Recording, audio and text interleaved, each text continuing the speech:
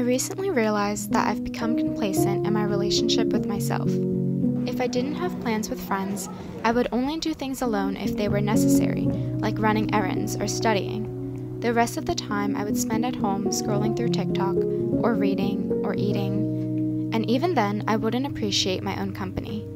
I would simply think of it as me not having any plans that day. So I challenged myself to go on a solo date. It started when I bought a Ludovico Einaudi concert ticket for myself. I've been dying to see him live since I first heard Nuvole Bianche. Then I decided to turn my entire day in London into a date with myself. Because why not? At the end of the day, the most important relationship you'll ever have is with yourself.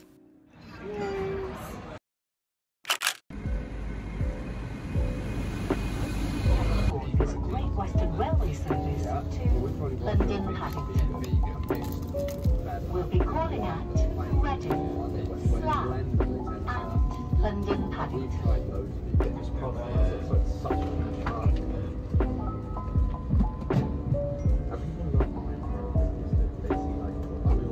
This is London Paddington.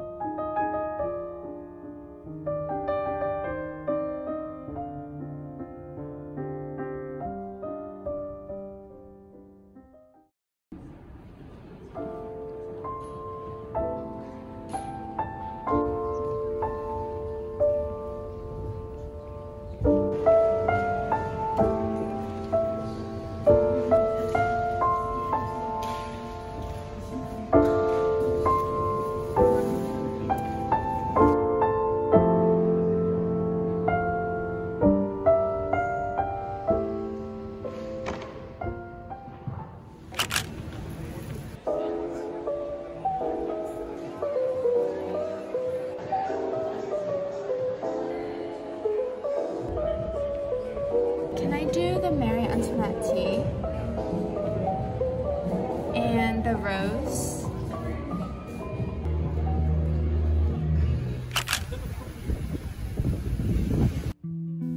After watching hours of things I wish I knew before moving abroad videos on the internet, I thought I was well prepared for anything Oxford and the UK could throw at me. The gloomy weather, the reservedness of the English compared to Americans, the eggs not being in fridges and grocery stores. But what I had not prepared myself for was the bittersweet feeling of being a first generation student getting to see places that my parents can only see through pictures that I send. I've dreamed of seeing the world growing up, and now I can because of my mom who took me to the library every day after school to make sure I grew up surrounded by books, and my dad who worked tirelessly to provide for our family. So, to my parents, I'll make sure all the childhood dreams that you sacrificed for me come true, and until then, I'll keep seeing the world for you.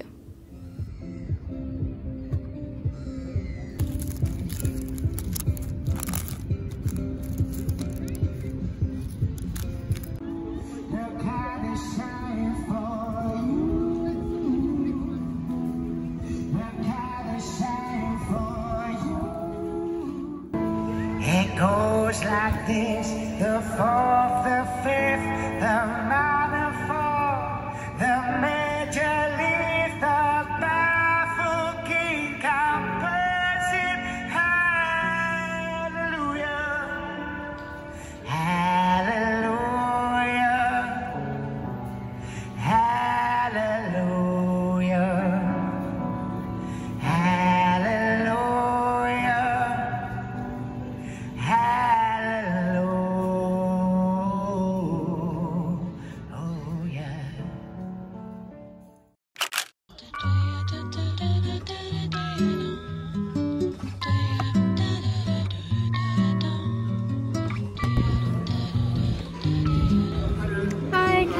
table for one. Yes, please.